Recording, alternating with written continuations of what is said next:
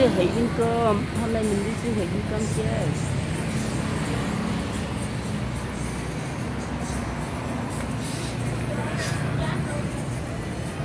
đâu đây rồi ờ, họ đi đường nào? Bên không đây hả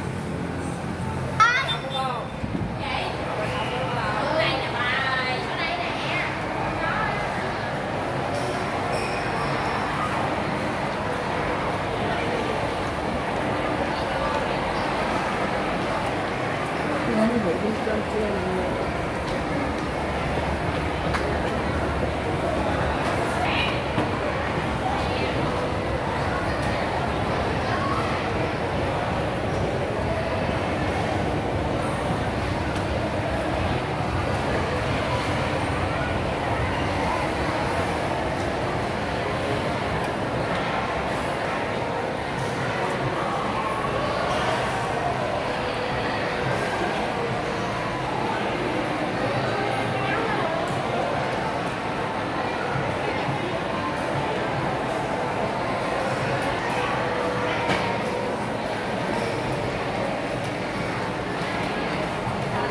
buổi tối mình đi chơi